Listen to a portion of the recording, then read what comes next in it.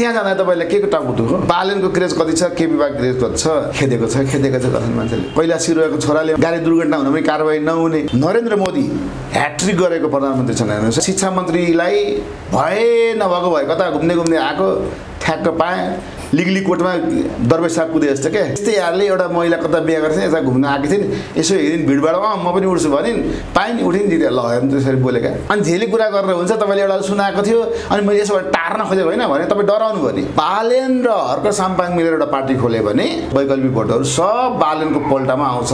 हामीसँग कुराकानी गर्नका निम्ति राजनीतिक विश्लेषक प्राध्यापक डाक्टर विजय मिश्र हुनुहुन्छ। डाक्टर साहब स्वागत छ। हस् धन्यवाद।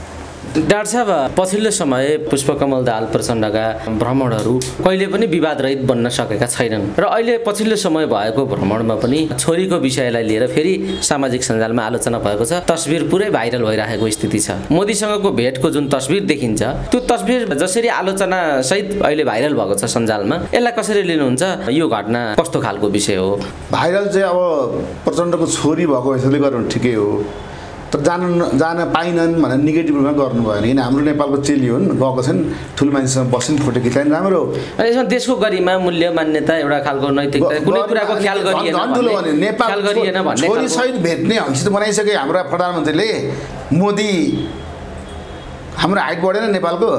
भेट्नु हुँदैन छोरीले भेट्नै हुँदैन। जेनरल अस्ति एउटा केपी ओलीले जेनरल के अरे गरेर एउटाले आएर प्रधानमन्त्री मन्त्री पाउँ हुनै पाउँदैन भनेर एउटा भन्थ्यो। आज फेरि कुन चाहिँ त्यो भन्दैछ। छोरीसहित भेट्दा हाम्रो नेपालको प्रधानमन्त्रीको हाइट बढ्यो नि। धन्यवाद। कम्तीमा। नरेन्द्र मोदी ह्याट्रिक गरेको प्रधानमन्त्री छन् हेर्नुहोस् है अहिले तपाईँले। त्यस्तो मान्छेले काटेका छैनन्। नाम भेट्ने कुरामा नाम राख्दा पहिल्यै फिक्स हुन्छ क्या कुटनीतिक रूपमा। अनि उसलाई त्यो प्रोटोकल अनुसार राख्न लगाएको छ। राखेँ भेटेँ। अब त्यस तर तपाईँले के हुन्छ भने नि वान टु वान भेट्ने कुनै गोप्य कुरा छ भने त्यस्तो कुरा छोरीले सुन्नु हुँदैन भन्ने लाग्छ भने भारत उसलाई भेट्नु थिएन। त्यसैले यसपालिको भरमा टाइँ टाइँ फिस मात्रै हो भने बुझ्नुहोस्। यसपालिको भ्रमणमा वान टु वान भेटेको भए कुनै सिरियस गफ हुन्छ। छोरीसँग राखेर भेटिसकेपछि त्यसै हाई लो भयो लो आउनु हो धन्यवाद शुभकामना के छ भने भन्नुहोस्। भन्ने कुरा नि गरेर मलाई यस्तो चाहियो हजुर। भने त्यहाँ छ नि एक्सन छ नि उसको त। मलाई यस्तो चाहियो। मलाई त पिर ओलीले पनि पिरिरहेको छ। अब म के जाउँ? शेरबहादेव पासँग रुकियो रुकियो भनेको होला उसले फेरि त्यहाँ हेर्नु। हेर्नुहोस् है त शेरबहादेवपासँग जाउँ भनेको होला। किनभने म त नेपाली भारतीय सेनालाई सोध्नुपर्छ भनेको होला उसले फेरि। किनभने शेरबहादेव आयो भने फेरि एसपिपी आइदिन्छ भने डर छ फेरि। अब यसो भइसकेपछि के भने तपाईँलाई ठिकै छ त बत्तिस सिटलाई हामीले प्रधानमन्त्री बनाइदिरहेको छौँ। कसैलाई थप्नु पर्ने छ कुनै पार्टी फुटाउनु छ भने भन्नुहोस् त पनि मिलाइदिन्छु म तराईतिरको भन्यो होला नि त्यस्तो। मैले जिस्केर भनेको त्यस्तै कुराहरू भयो होला। जुन कुरा ढुङ्गाले सुने पनि फरक पर्नेवाला छैन। तर अमेरिकाको विरोधीको कुरा त्यहाँ गरेनन् तिनीहरूले। अथवा चाइनाको विरोधी कुरा त्यहाँ तिनीहरूले गरेनन्। युरोपियन युनियनको कुरा विरोधी कुरा उनीहरूले त्यहाँ गरेनन्। त्यहाँ सकारात्मक कुरा मात्रै गरेका थिए त्यो छोरीलाई सकेर आएर कुरा गरे। कुनै नेगेटिभ कुरा गर्नु परेको भए भित्ताको पनि कान हुन्छ भनेर छोरीको पनि कान हुन्छ नि त। छोरीलाई नराख ऊ आफैले छोरीलाई नराखेर भेट्न गयो। त्यो फोटो आउट न आउट नगरेको हुन्छ त फेरि तपाईँलाई बताइदिन्छ छोरीसँग भेट्नु त भेटेँ फोटो खिचाउनलाई फेसबुकमा हाल्नको लागि पत्रिकामा न्युज निकाल्नको लागि त्यस पछाडि तपाईँसँग चाहिँ एक्लै भनेर कति भेटे पनि होला। अब त्यसलाई हामीले मिडियामा आएको छैन। बिचरा गएको उसले पनि पाल के अरे हाम्रो रिस धमला गएको छ।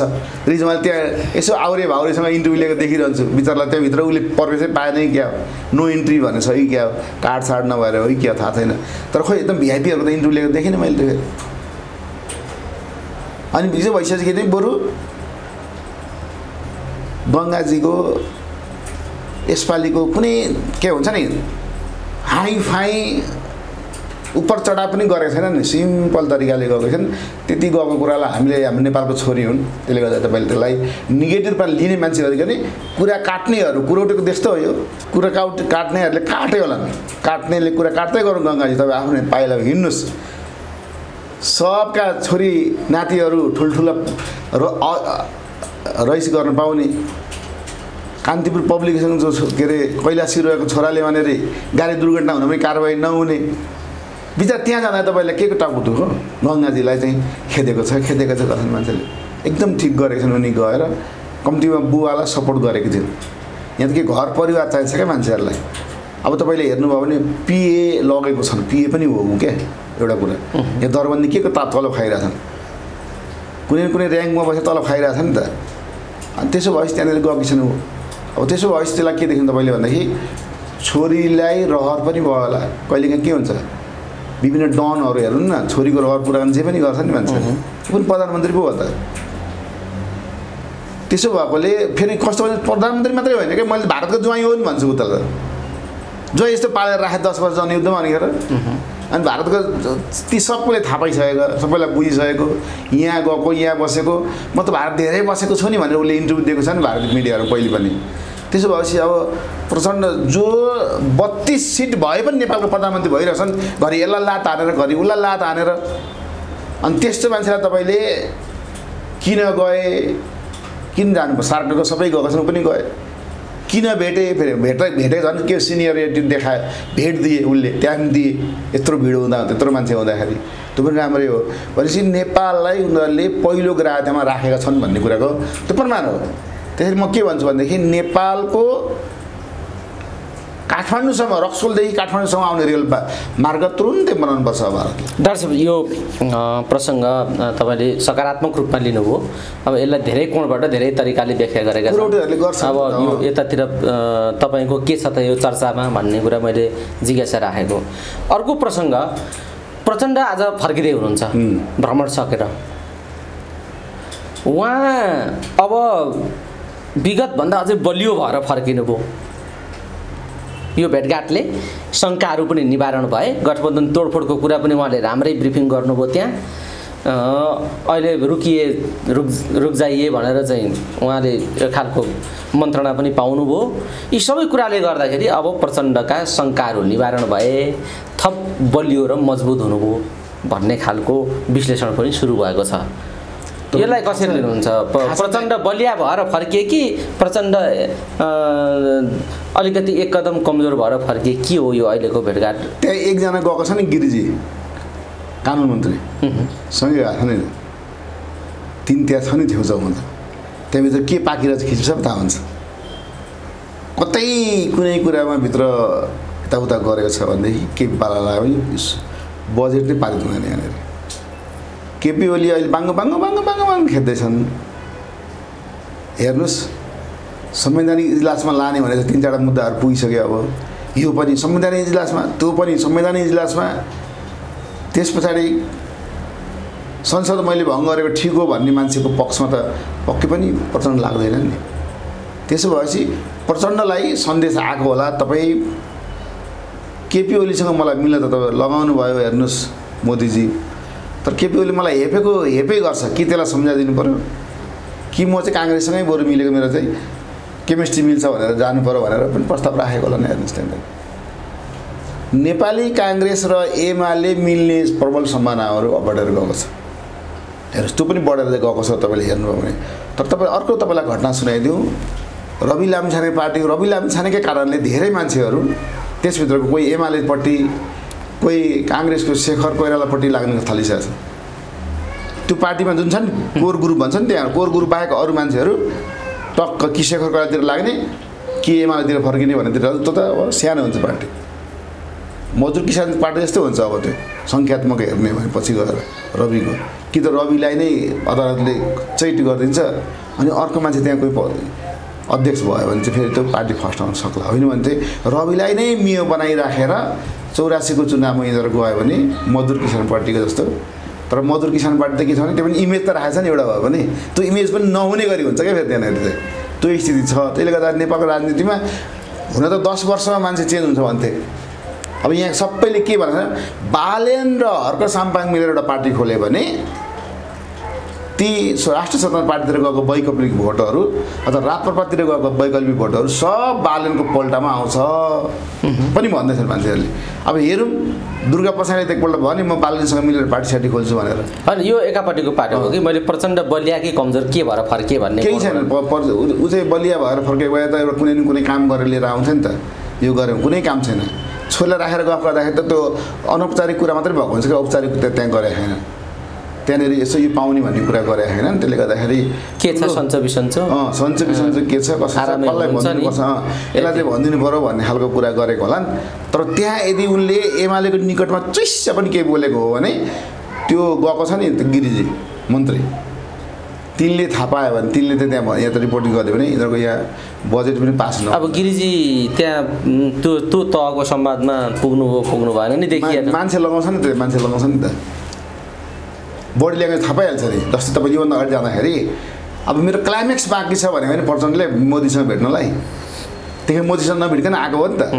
कति रिस भयो? आज त भेट्न पाए खुसीको कुरा छ नि त कम्ती मानिदियो भनेर तपाईँले। योभन्दा अगाडि जाँदाखेरि मोदीले नभेटेको होइन तपाईँलाई थाहा छैन। सबैलाई भेटेँ त्यहाँको पार्टी अध्यक्षलाई भेटेँ भाजपाको। त्यस पछाडि के भने अब पत्रकारलाई सोधेँ त्यही दुर्गा के अरे हाम्रो रिस धमलाको पार्टीको के अरे त्यो के अरे इमेज के टे के टेलिभिजन छ नि उहाँको के अरे? Prime television. त्यसैको एकजनाले बुम लगाएर अब तपाईँको के छ भने सोध्दै थियो अब मेरो क्लाइमेक्स बाँकी छ भनेर बुढाले दिएँ। भरे बाटोमा हिँड्दा हिँड्दै क्यान्सल भयो। त्यो क्लाइमेक्स बाँकी छ भनेर भन्नु हुँदैन थियो। तर यसपालि त्यो क्लाइमेक्स पुरा गरेर आयो अनि सफल भयो भन्नु पऱ्यो यसलाई त हामीले यसमा यसमा बलियो कमजोरको कुरो। छैन, बलियो- कोणबाट हेरिनुको अर्थ छैन। छैन छैन। यसमा बलियो कमजोरको कुरा छैन। कुरा त के छ भनेदेखि भ्रष्टाचारीहरूलाई मिलाइ मिलाइ ठोक्छु भन्थे नि त्यो ठोक्नु चाहिँ नपाउने भयो कारण? कारण अब छोडेर विद्रोह गरौँ भने पत्ता थाहा भइहाल्छ। आफैलाई फेरि भ्रष्टाचारी भनेर कारवाही गर्दैन भनेर डर छ अनि प्रधानमन्त्री हुन्जेल चाहिँ यसो अदालतलाई प्रभावित गर्न पाइन्छ। प्रहरी प्रशासनलाई प्रभा प्रभावित पार्न पाइन्छ। भनेपछि दिन कटाउने मेलो छ उनको अहिले अब। तर यो माओवादले के गर्छ भन्ने तपाईँलाई? माओवाद खाओवाद सुनवाद परिवारवाद के के के के बात भनिसकेपछि अब प्रचण्डले अब म यो यो नौलो समाजवाद ल्याउँछु अथवा ठुलो क्रान्ति गर्छु के के भन्नुभन्दा एनी आऊ सत्तामा जाऊ पैसा कमाऊ रमाऊ भन्ने थ्योरीमा उनी गइसकेको मान्छेलाई अब हामीले चाहिँ के गर्नु पऱ्यो भन्दाखेरि त्यो त भोटर्स त्यस्तै छन् फेरि हेर्नुहोस्। मान्छे ठुलो ए दिउँ भोट दिउँ भनिदिन्छन् पुरानो कुरा बिर्सिन्छन्। तर एनी आऊ पैसा कमाऊ भनेर लाग्ने मान्छेहरूलाई अब अबका मतदानहरूमा भोटर्सहरूले भोट नदिएर नयाँ क्रिम मान्छेलाई जिताउनु पर्ने अभियान लाग्यो भने त माओवादी पनि थानको लागि नि। माओवादी थानको लाग्छ हेर्नुहोस्। माओवादीलाई थानको लगाउनलाई नलगायो भने फेरि का एमालेलाई घाटा छ फेरि त पनि हेर्नुहोस्। एमाले पनि त सोचिरहेको छ। किन एमाले के भन्छ तपाईँले हिजो अस्ति हेर्नुभयो। केपी ओलीले के भने हाम्रो एमाले पार्टी नै ध्वस्त बनाउन आँटिसकेको थिएँ। मलाई नै किक आउट गर्न आँटिसकेको थिएँ। मैले एमाले पार्टी बचाउनको लागि दुईपल्ट संसद भङ्ग गरेको भने नि त। त्यो सत्य बोले हो नि आखिरमा। किन त्यही पार्टीभित्रका त्यो माधव कुमार नेपाल र झलनाथ के अरे झलनाथ खनाल अथवा त्यो हाम्रो के अरे प्रचण्डहरू पहिले त नेकपा भन्थ्यो नि त। उनीहरू बहुमत लिएर गइसकेको थियो नि त्यहाँ त। बहुमतै पुऱ्याएर उसलाई चाहिँ अविश्वास प्रस्ताव दर्ता गर्न गइसक्यो त। त्यहाँ चाहिँ यसो टाइमको हेरेर तलमाथि पारेर गरे हो नि त्यो घटना त यसरी। त्यसले गर्दाखेरि छिड्किल लगाउनु कुस्ती खेलाडीले यसो तान्ने हुन्छ छिड्किल लगाउने त्यो छिड्किल लगाउने दाउमा प्रचण्ड पनि छन्। प्रचण्ड चाहिरहेछन् कसरी किब्बालाई छिड्किल लगाउँ? किब्बा पनि थाहा चाहिरहेछ कसरी लगाउँ? बाहिर सबै जुन नाटक छन् मिलेको जस्तो गर्छ नि सब। भोट मिलान मात्रै हो। यस्तो भोट मिल तपाईँ संसदभित्र हेर्नु न। सरकारको बजेटमा कति एमाले विरोध गरिरहेछ बालेनको इस्युमा हेर्नुहोस् न। त्यो ढुङ्गा हानेर राजनीति गर्छु भन्ने एकजना के नाउँ थियो अरे त्यो भट्टराईले बालेनको विरुद्धमा संसदमा बोले नि। उसले सिकाए। आफ आफ्नो हैसियतमा बस्न सिकाए कसलाई भन्दाखेरि भालेन्जीलाई संसदमा गएर। त्यो संसदमा बोल्ने कुरा हो। त्यहाँ बोल्नु पर्यो। उपमेयर मेयर लगाएर बोले हुन्थ्यो। अथवा फेसबुकमा बोले हुन्थ्यो उसले। संसदमा बोले संसदको समय किन खेर फालेको त्यो त उसको हैसियत अर्को हो अनि त्यो संसदमा किन उठ- कुरा उठाउने प्रधानमन्त्रीको भन्दा ठुलो कुरा कुरा उठाउने तपाईँ। तपाईँ उहाँ उसैले उठाइदिएर त्यहाँ सुरु भएको नि त। तिनले त्यहाँ उठाउने कुरै थिएन। चुट्किला भनेकै थियो त केपी बाले? भैँसीमा बसेर झिँगाको के मतलब भनेर। अनि त्यो भैँसीमा बसेर झिँगा हो भने त्यत्रो समय लिएर त्यहाँ किन संसदीय के अरे समयलाई खेर फालेको तपाईँको छिटोले के अरे? एउटा छिटो भन्थ्यो नि केपी बाले त? भनेपछि के देखिन्छ भनेदेखि सोसियल मिडियामा हेर्नुहोस् न कसको क्रेज कति छ? बालनको क्रेज कति छ? केपी बा क्रेज कति छ? केपी बा त अब पित नभएको लोटा। भन्नु पऱ्यो किन पित नभएको लोटा किन भनेको भने। भनेदेखि अस्ति एउटा शिक्षा मन्त्रीलाई भए नभएको भए कता घुम्ने घुम्ने आएको ठ्याक्क पाएँ। लिगली कोर्टमा दरबार साहब कुदे जस्तो क्या यहाँ कुद्ने सिस्टम रहेछ। अनि म पनि जानु पऱ्यो भनेर गएको अनि कुद्दाखेरि फर्स्ट भएर राजा भए गोर्खाको भन्छ नि। दरबार अनि त्यस्तै यारले एउटा महिला कता बिहा गर्छ यता घुम्न आएको थिइन् यसो हेरिन् भिडभाड अँ म पनि उठ्छु भनिन् पाएँ नि उठिन् दिदी ल हेर्नु त्यसरी बोलेका। महिलाको एउटा जेन्डर इस्युमा पनि हेर्नुपर्छ नि त। भनेपछि एमाले जेन्डर इस्युमा खराब छ भन्थे प्रमाणित भयो। अहिले के भन्छ नि एउटा मलाई कसैले कथा सुनाएको थियो अनि त्यो कथा मैले भनेको भनेको र। अनि त्यो पनि कस्तो एउटा पूर्व प्रधानमन्त्री भइसकेको मान्छेले ए यो कथा कसको सोध्नु पर्दैन त्यहाँ कथा सुनाउनेलाई? अनि झेली कुरा गरेर हुन्छ तपाईँले एउटा सुनाएको थियो अनि मैले यसो टार्न खोजेको होइन भने तपाईँ डराउनु भयो नि। मलाई मैले त्यसैको भनेको हो ल मुद्दा हाल्नु हाल भनेर जानुपर्छ के? तपाईँ के भने मलाई ला अब मलाई फसाउने भए। आफैले तपाईँले एमालेको एकजना जेन्डर इस्यु उठाएर एउटा के गाँजाको इस्यु उठाउने मान्छेले गाँजाको अभियानमा लाग्ने एउटा मन्त्रीलाई हटाएको थियो नि तामाङलाई। एमाले थाहा छ नि तपाईँलाई? के एउटा बङ्गलादेशतिरको के पढ्न जाने केटीहरूको बारेमा के कुरा गरिदिएको थियो? अनि त्यो अर्काले भनेको कुरा थियो त्यो उसलाई त्यो त्यस्तै अहिले त वास्तवमा एमाले पार्टीले कारवाही गर्नुपर्ने हो पार्टी अध्यक्ष हैसियतले यस्तो जेन्डर बे एमालेका महिलाहरूको हेर्दा त्यत्रो जो कार्यक्रम यहाँ भयो महिलाहरूको भेला भएको नि त राष्ट्रिय भेला। एमालेहरूको। तर त्यही महिलाहरूको राष्ट्रिय भेलाकै तलमाथि पारेर केपी बाले एउटा आई एउटा महिला यसरी गरी उठ्यो भने भन्नु भने सम्पूर्ण महिलाहरूको अपमान होइन र? त्यसो भनिसकेपछि उसले त्यसलाई छल्न के गरे त? भने पिद नभएको लोटा बोल्ने अनि होइन भन्ने बोल्ने अनि होइन भन्ने। अस्ति विष्णु पौडेलले काङ्ग्रेसले लिखित रूपमा राजीनामा माग्नुपर्छ भनेर करार चिच्चाएको होइन? त्यो गिरिबोध टी स्टेटको। अदालतले चाहिँ निर्णय गरिदिएको छ नि। यस्तो नगर्नु भनेर। अहिले बालनले त्यो लेखिदिएको छ नि। अनि खोइ लिखित रूपमा राजीनामा माग्नुपर्छ भने के अरे माफी माग्नुपर्छ भन्न कहाँ गयो ती मान्छे अहिले? विष्णु पौडेल भन्ने मान्छे। भनेपछि यसो के देखिन्छ भने यसो मौका पारे चाहिँ गफ हाँकिदिइहाल्ने अनि फेरि दुलो पसिहाल्ने। डाक्टर साहब अब यो यस्तै छ यसरी नै चलिरहेको छ अहिलेसम्म होइन? अघि डाक्टर साहबले पनि भन्नुभयो यो गफाडीहरूको देश भयो। ठगहरूको डाँटहरूको गफाडीहरूको त्यस्तै खालको स्थिति भयो हाम्रो नियति राजनीतिको भन्ने डाक्टर साहबको अघि नै कुरा राख्नुभयो। हामी कुराकानीको अन्तिम चरणमा पनि छौँ। जाँदा जाँदै डाक्टर साहब एउटा कुरा बताइदिनुहोस् त यो जसरी मोदीको निर्वाचनको परिणाम अर्थात् भारतको निर्वाचनको परिणाम र मोदीको विजय पर्खेर बसिराखेका केही आशामुखी मुन्टै दोब्रिने गरी उतै फर्केर त्यता भएपछि के के नै यहाँ परिवर्तन हुन्छ मोदी सत्तामा आएपछि भन्ने बहस व्याख्या गर्दै विश्लेषण गर्दै आइराखेको एउटा पङ्क्ति पनि नेपालमा विद्यमान छँदैछ थियो। अहिले त्यो निराशामा परिणत भयो कि आशामा अझ जागृत भएर आयो। मोदी त प्रधानमन्त्री भए निर्वाचन परिणाम पनि देख्नुभयो भारतको। ठ्याक्कै नेपालकै जस्तो जस्तो स्थिति छ। अब तथापि मोदी सरकारको नेतृत्व गर्न सफल भए प्रधानमन्त्री बन्न सफल भए। अब यहाँका आशा गरेर व्यक्त गर्ने विचार व्यक्त गर्ने त्यस्ता परावलम्बी दृष्टिकोणहरूमाथि भर निर्भर रहन चाहने पङ्क्ति जो यहाँ छ यसले यसले अलि खुट्टा टेक्ने तङ्ग्रिने बाटो पायो कि यिनीहरूको चाहिँ आशा निराशामा परिणत हुन्छ? के त्यस्तो आश गर्ने तिन तह छ नेपालको मान्छेहरू। एउटा हिन्दू धर्मसँग ल्याइदियो हुन्थ्यो भन्ने तहले आश गरेको छ। मोदी फेरि प्रधानमन्त्री भने हिन्दू धर्म त ग्यारेन्टी आउँछ भन्ने मान्छे धेरै छन्। एउटा चाहिँ होइन राज संस्था नै ल्याइदिन्छ भने आश गर्ने मान्छे छन्। मोदी हुन्छ न तर नेपालीले चाहेर चाहिँ हुँदैन भन्ने खालको मान्छेहरू छन्। अर्को चाहिँ के छ भनेदेखि त्यो कम्युनिस्ट धारका मान्छे हुन् धर्मनिरपेक्षवादीहरू उनीहरू के भने रिझाउने अनि यहाँनिर मस्ती गर्ने।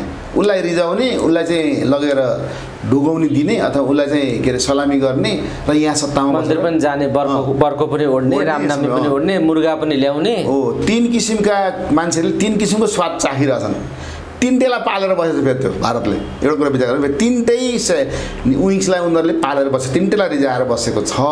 यस्तो अवस्थामा उनीहरूले गर्ने क्वेसनको एन्सर पनि फरक फरक हुन्छ। प्रचण्डसँग गर्ने कुरा अलिक फरक हुन्छ। त्यो हिन्दू धर्म त ल्याउनेसँग गर्ने अर्को फरक हुन्छ। दुर्गा प्रसादसँग गर्ने कुरा अलिक फरक हुन्छ।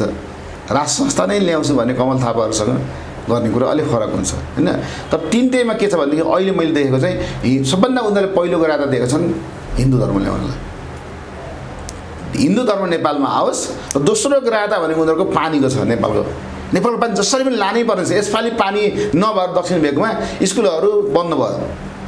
स्वास्थ्य चौकीहरू बन्द हो त्यही भएर पानी भएन भोट पनि हालेन त्यो मान्छेले त्यही भएर भोट पनि कम भयो हेर्नुहोस् है अब त्यो भोट बढाउनको लागि पनि उसले पानी रेल मैले मैले त के भन्छ नि रक्सोलदेखि काठमाडौँसँग दुध मार्गको रेल बनाएर रेलको डब्बा कहिले हुन्छ नि पहिले माल माल वाहक रेल डब्बा जस्तै पानी वाहक रेल डब्बा लगेर पानी चाहिँ यहाँको मिनरल वाटर पानी लगेर भारतभरि गर्ने वालछाल पार्ने र नेपालमा अब मिनरल वाटरको विश्वमा सप्लाई हुनको लागि पानीको ठुल्ठुलो फ्याक्ट्रीहरू बन्दैछ अब हेर्नुहोस्।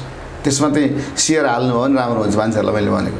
किन त्यो भारतमा नेपालको पानी अब अबको तिस वर्षभित्र नेपालको पानी उसले आफ्नो कन्ट्रोलमा लिन सकेन भने खानेपानी उसलाई फेरि हाकार हुन्छ क्या त्यहाँनिर। त्यो भएपछि अब नेपालमा उसलाई न माओवाद चाहिएको छ न खाओवाद चाहिएको छ न मार्क्सवाद लेनिनवाद चाहिएको छ न प्रचण्ड पद चाहिएको छ अथवा न तपाईँले हेर्नु हो भने के अरे मदन भण्डारीको केही चाहिएको छैन त्यहाँनिर। नेपाललाई खालि उसलाई के चाहिएको छ भने जोसुकै आओस् राजै आओस् कि अथवा माओवादी आओस् कि अथवा देउबा आओस् कि जो आओस् तर पानी मलाई चाहियो। र हाम्रो देशमा पाकिस्तान भाया अथवा अरू देश भाया जुन हुने तस्करहरू अथवा डुप्लिकेट पैसा कारोबारीहरू अथवा ड्रग्स सप्लाई गर्ने अथवा आतङ्कवादीहरू यी सबैलाई त्यहाँ रोक्न मान्छे जसले सहयोग गर्छ त्यो सरकारहरूलाई यहाँ चाहिएको छ।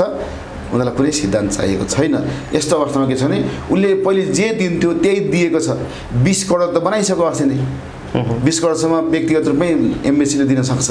त्यहाँ परराष्ट्र मन्त्रालय मार्फत जानु पर्दैन भनिसकेपछि त उसले नेपाललाई एउटा सङ्घीय राज्य जस्तो उनीहरूको बिहार युपी जस्तै गर्ने भनेर त तपाईँले ऋषि धमालालाई गरेको कुराकानी भने त हाम्रोसँग विशेष सम्बन्ध छ रोटीबेटीको सम्बन्ध छ। यी हाम्रो जुन अरू प्रदेशलाई जति गर्छ त्यति त्यहाँ पनि गर्छ। गर्नुपर्छ भने उसले भन्दै थियो हेर्नुहोस्। हाम्रो छुट्टै राज्य हो कहाँ प्रदेश हो भनेर भनेन नि उसले पनि त्यहाँनिर। भनेन नि। अब यति भइसक्यो के छ भनेदेखि भनेदेखि भिख माग्न जाँदाखेरि भिख त जहाँ पनि पाइन्छ नि। नेपालले पनि त्यही भिख माग्ने हिसाबले मागिरहेछ त्यो पाइरहेछ भिख माग्न जाँदा नेपालमा तपाईँ हेर्नु कहीँ भिख नदिएको देख्नुहुन्छ? केही न केही दिन्छन् नि मान्छेले त्यसै गरी उसले दिइरहेको छ। त्यसरी हाम्रो चाहिँ हाम्रो सिस्टम भिख माग्ने छ। उनीहरू चाहिँ माग्न आउनेलाई दिने चलन छ। तर पहिलो ग्राहता मैले भनिहालेँ पहिलो ग्राहता हिन्दू धर्म दोस्रो ग्राहता पानी अनि तेस्रोमा बचाइ खोजेको भयो भने राजा। यति चाहिँ बुझ्नुहोस् तपाईँले अब। अलिक रिसेन्ट तपाईँले उनको बडी ल्याङ्ग्वेज उनले कुराकानी गरेको हेर्ने हो भने र कुन दिन तपाईँले जनसङ्ग्रह धर्मको लागि जनसङ्ग्रह हुने बेला नेपाल यी तिनवटा अवस्थामा अब मोदीको राजनीतिको प्रभाव यहाँ पर्छ भन्ने। डाक्टर साहबको निष्कर्ष र हवस् डाक्टर साहब समय दिनुभयो। यो महत्त्वपूर्ण समय र संवादका लागि यहाँलाई धेरै धेरै धन्यवाद छ